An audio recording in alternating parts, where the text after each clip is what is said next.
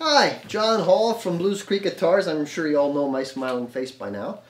And my friend Maury decided to stop by today for Maury's music. We all know Maury's out there in Coaldale. And what we wanted to do, we wanted to discuss about neck resets. This was something that Maury wanted to do, so I happen to have some neck resets that are in the project. But we also decided that maybe you need to learn how to identify a problem with your guitar so that you will know if and when you do need a neck reset. So this little guy right now, if you look at this guitar, at the height, my action height at the 12th fret is a full 864th, which is actually out of spec. And you measure that by taking a gauge and it will ride the top of the fret to underneath the string, the bass string. So when I measure this, I can see that I'm a full eighth. And I hope we can get this for the camera, but right here, this is how you want to measure it. The string is in a free state, right on the fret, and you want to see what the height is. Now, we know that this now is technically out of spec. We can see we do have some saddle, and we have plenty of saddle height here that we could make an adjustment by lowering the action down.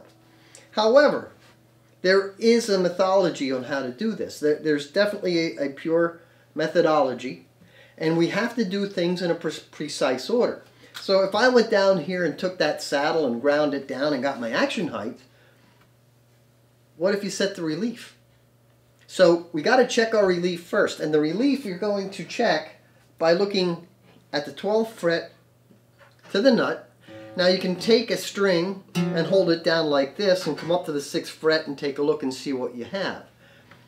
You'd like to see between, personally, I like to see between 4 and 6 thousandths, but I think the Martin spec says 4 to 9.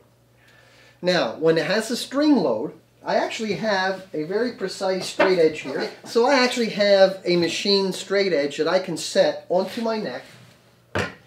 And that is precisely from the nut to the 12th fret. Now, you take notice the string tension is on here. If you took the string tension off, and you can see with this neck, and I put my, my straight edge on here, if you listen, it's tapping. So this neck, without a string load, actually will have a back bow in it, and I'll bet your guitar will also. So you always want to check the neck relief first. So I can hold the strings down and go down and take a look here and I know for a fact that I'm out of spec. I purposely did this. Because now we're eight and about three and a half. That means three and a half high on the one, eight on the six. I'm going to take my truss rod wrench. Now this happens to have a two-way truss rod. Uh, some of the older guitars prior to 19, the mid 80s have a one-way truss rod. So I'm going to tighten the neck and you're going to put back bow into the neck. And while this does not always work to adjust your action, you're going to see that there is, is a resultant if your neck is out of whack. I purposely put this one out of whack, and you're going to see I'm going to have to work a little bit to get that really tightened up. I'm starting to grab now. And I'll pull this out, and I'm going to put about a half a turn in here, because I, that's about what I took out. But generally what you want to do is set it that you take about a quarter turn. So now, I can hold here and I hold here. Take a little bit more yet.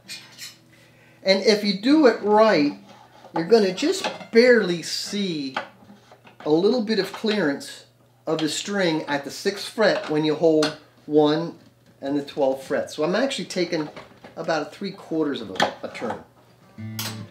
But just in that little bit of turning, my action has now come down to right at 3.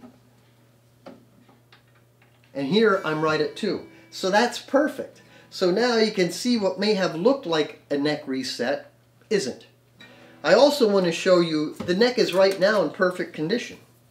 And if I put a straight edge on my neck and I slide it up here, you often hear, well, if a straight edge hits the bridge, you're going to need a neck reset. Well, I'm hitting the bridge, and maybe Maury can get a good look here, and I'm hitting it probably by about a sixteenth of an inch. Why, why is that happening? Well, there is still a certain up bow in the neck, so that is going to tilt this up, which is going to push this down. So when you're checking a neck properly, that is about where it should be. Just that it is underneath the line of the bridge, under tension. You're going to see when we back the tension off what's going to happen. Because right now, we're tuned to pitch. Watch what happens when we take this off. Oh, isn't that wonderful? All we need now is a bagpipe and dueling banjos. So you now, to put your mummer's costume on. Oh yeah, I look good in pink ostrich feathers. So you can see I have all of my tension off. All right. Now watch what happens to this straight edge. As you can see, I'm now on top of the bridge. And can you see that, Maury? Yes, I can. And we're approximately maybe a 16th to an eighth of an inch above the bridge. That's about where you want to be in a relaxed state. So there you go. You know the basics of doing a quick precursory check of your neck. So as long as you have that, you're good. Remember, a straight edge, when it is under tension, will be hitting the bridge. Once you put the tension on or take the tension off, it will ride back up because the neck is going to go from this to this. So I hope that gives you a little bit of information. So if you're worried about your guitar and you see that thing going on, you know, sometimes a good setup can really make the guitar play better. And it's good to have somebody you can trust work on your guitar. So, you know, we're always ready for you here. I'm sure you can find somebody near near your own home, but uh, we're always here for you. So I hope that explains the ABCs of checking the neck. Now, we actually have a guitar that does need a neck reset.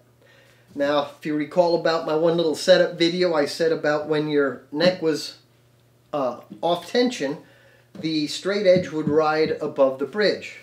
Here you can see we have no tension and my straight edge is hitting that bridge very solidly, probably by about more, a lot more than I want to. So you can see here in this one, you can see that straight edge is just coming up and banging. Now I also know from previous experience we have to reset this neck. So the reset is going to happen in three distinct ways. Number one, a fret has to be pulled and I have to drill a hole. I have to release the fingerboard extension and then we're going to inject steam and take the neck apart. So, now, plain and simple, I have a soldering iron and this I'm going to heat first. I have a special nippers that I, it's uh, precision nippers from Sears and I ground it down so it's very chisel-like on its end. So when I heat this fret, and I'm always going to come up one fret from the body connection, I'm going to heat that up and this is designed so I can get right underneath that fret and gently lift it out without doing, or I should say minimizing the amount of damage that I will do to the fretboard. Um, I've been doing this for quite some time and probably half of the time you'll be able to get one out without any damage. Sometimes you have minor damage. You never know how that wood's going to react. So that's heating up and I have a bound board and I don't know if you'll be able to see it. I actually have a little groove that I have cut into my little cheap soldering gun. And I'm just going to rock this back and forth and then heat the fret up and then pull it. And then we'll get this out of here and we'll go to the next step. So you can see, I can feel that the heat's getting there. As you're looking at that, I can actually see a little bit of steaming on the wood itself because it's heating up. There's a little bit of moisture in the wood and that's going to start to steam. So now I can put this on here and I can just grab a corner and I'm gently rocking it and I'm not using a lot of force. Because the more force you use, the more damage you can you can cause. So what I want the wood to do is I want it to release the fret. I don't want to pull the fret. And it's coming out nice and easy.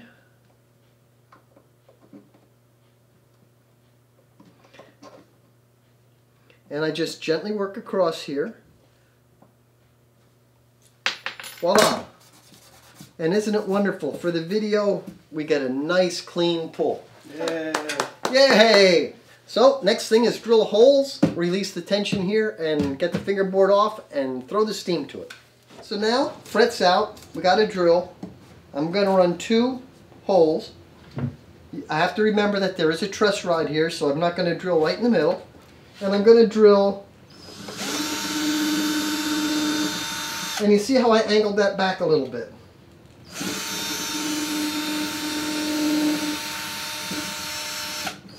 Now you can see that goes in. So I hit the pocket. That means that I'll be able to shoot steam down into there. Now the next thing I have to do is we're going to heat the fingerboard extension up so that we can expose and get the neck off. So I plug this in. This is a heating blanket. I have this set to full power. I can also put this to a variable controller and I can control the heat to almost anywhere that I want. Now I can already tell you that that is getting, getting warm. So I'm going to take something and put on here, right there, and you can see that's the heating element. I'm going to come down here and I want to be careful because I don't want to uh, I don't want to damage the binding on this guitar. Sometimes you have necks that are bound, sometimes you have them that they aren't. So that's starting to work pretty well. And while that's going to be happening, that's good. I can turn my steam pot back on. And this will actually go pretty quick once things uh, release. Now, these blankets, the nice thing about these smaller blankets, I can get them that are pretty much to the size that I need. Uh, they used to come a lot wider. You'd have to put all kinds of protection on the top. I don't need to do that anymore. However, I got to have something there so I don't burn my thumb. And it won't take long for that heat to get through there, and I, I can actually feel that getting in. Uh, and this will be interesting to see, because most of you probably don't get to see this part of the process. If you take a Martin tour, you never really get into the repair department to see them doing this. So taking the neck out is uh, the first step of making the neck reset. And why do I need this? Remember, the top is going to cave in. That throws the neck angle. That takes that finger fingerboard the fret plane down below the bridge so that you can no longer adjust your saddle. Because you can see this saddle is just too small and we really don't have uh, much adjustment. So once you cannot adjust the action with the saddle anymore and you maintained your neck relief and, and all that other happy stuff, that's when you're going to know you need a neck set. John, can you address how, how much saddle you want to see before you determine if it's enough saddle or not? Yeah, uh, that's a very good question because a lot of times if you have a drop in saddle, which this is, you can have a little bit more saddle height than if you were dealing with what they would call a through saddle. Uh, what I'm looking for when I do a neck set, I'd like to see about 180 thousandths of saddle coming out of the top of the bridge.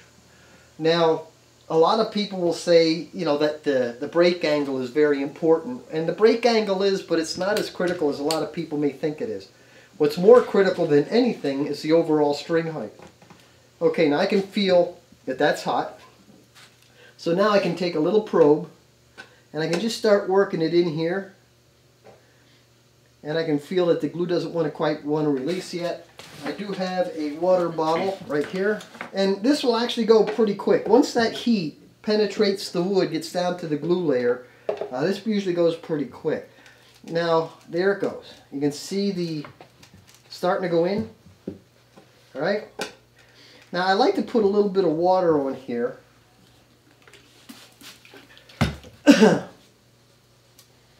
And that just for me, I just something that I, I don't know why I do it. I just like to do it. Um, I don't want to overheat and I don't want to over dry out the top. Although it doesn't really matter because this guitar is actually going to be converted. So the top's actually going to come off. But I do like to try to make them nice. Now I can see I got in there a little bit, but it's still holding me off. And the feeling is pretty much easy to describe as trying to cut hard ice cream with a butter knife. Uh, that's kind of what the glue feels like. And sometimes you'll hear the squeak as you get going into it. I'm hungry now. Oh well. Uh, we have soup. I'm hungry for ice cream now. okay, now you can see how that's going in there. I can actually probably take this off now. And how you work in here and how far you work. Here's the neck block. The end of the neck is here. And I can really feel the glue softened up. And you can see how far in that has gone. And just a little bit of water. I just think with the hot glue, just I think it helps to cut it out nicer.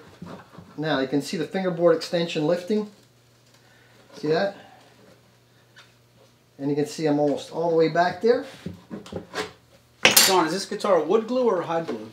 Uh, this one, I don't know. I know the neck has been reset on it. Uh, and is there a difference how you approach this? Uh, they almost all of the wood glues are very similar. Hot glue, fish glue, cold hide glue, brown glue, Titebond, Elmer's. They all are similar in that they release about the same. Mm -hmm. uh, I do have a guitar upstairs right now that some, they actually used epoxy for the neck joint. So I'm trying to get that apart that I can actually save the guitar and uh, I thought that it might have been aftermarket, but it was actually done that way. And I won't tell you the company that did it, but uh, I'm not impressed by them. so now, I'm ready for the steam. Now, this is very, very tricky. I have a very high-tech source of heat. Uh, $5 heat. I can make soup over here if I have to. It's a pressure cooker, all right? And these are just simple Harbor Freight air fittings. However, uh, this needle, believe it or not, is actually a veterinary needle that they use for uh, giving horses a shot. Uh, this is actually from StewMac. The original one was StewMac, but now I found out that they were a horse needle. And my local vet was nice enough to give me some used horse needles. Okay, so now we got the steam building up. You can see it pushing out. And I'm going to wait for this to give a little bit more. Now, I'm going to say that a friend of mine, John Arnold, one time gave me a, we were talking about this, and uh, he said, well, he'll do is he'll inject steam for maybe a minute, and then he'll stop for a little while, the steam, especially in older finishes, will cloud the finish a little bit. And it looks terrible, but it really isn't. Uh, you get moisture into the lacquer, it'll turn white. So if you happen to see your repairman working on a guitar and you see that, don't panic. It's not a big deal.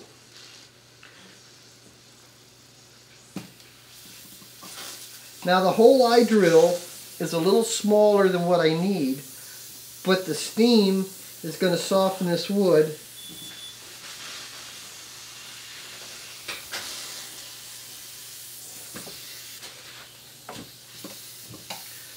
So I'll just let that work a little bit.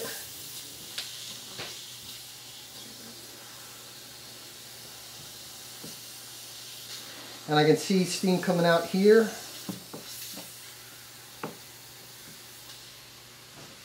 And whenever you shoot a video, Maury, there's always going to be that, the Murphy's Law rule, where that hole fits 99% of the time. So I may have to re-drill that. Now, you're going to see this needle protrude all the way into that joint. Alright. And you can see the steam coming out. Now, what's really funny, the history of neck sets. At one time, they actually pulled the joint fret. They would cut that off, lift this, expose the joint, and steam it apart that way. Then I had also seen where they went in the back and came through the back. Uh, I don't know when they started doing it this way, but this is a much better way. The neck is starting to loosen. There's a little bit of water coming out along that joint. But you're going to see me go back and forth in the holes. And you can see I can get that down all the way now. And I'll show you the mechanics of the joint on this other guitar when we go to put that one back together in a minute. But this is exposing the glue joint and the surface joint so I can actually soften the glue And you have to be careful because steam will burn you and it doesn't feel good.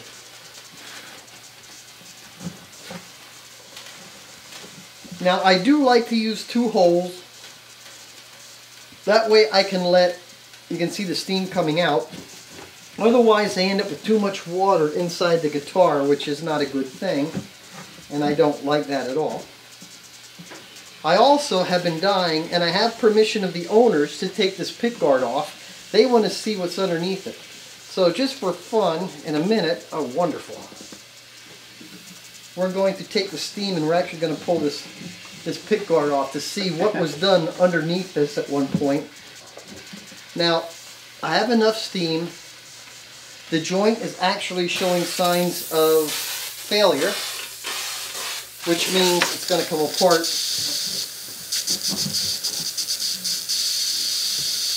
you can see all the water that was coming out of the joint. Now you can see that neck opening up. See that? Now this, this neck is going to come off in about 10 seconds. You want to do the countdown, Maury? 10, 9, 8, 7, 6, 5, 4, 3, 2, one. Happy New Year! There we go. so now, that is how we take a neck off. And I'm very happy to say, look at how little damage has been done. Uh, this is the hard part. Now, it's a shame I'm tearing the top off of this guitar, but uh, pull that out nice and clean. Here's my neck joint. Those two holes that I put in came right here, and you can see there's a lot of lot of glue in there. And this, you asked me, this was done with Titebond. Oh, wow. Okay. Now, since I have some steam going, and uh, we don't want to say the, the owner's guitar's name, but he wanted to see this thing, the damage that was done to it. And you can actually take these off with a hair dryer. I think I have a video on my YouTube Blues Creek channel. Cool. Okay.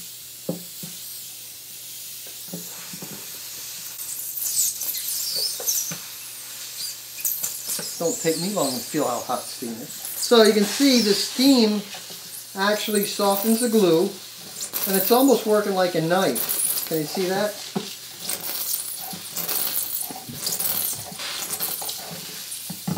Actually no damage underneath there. Alright, so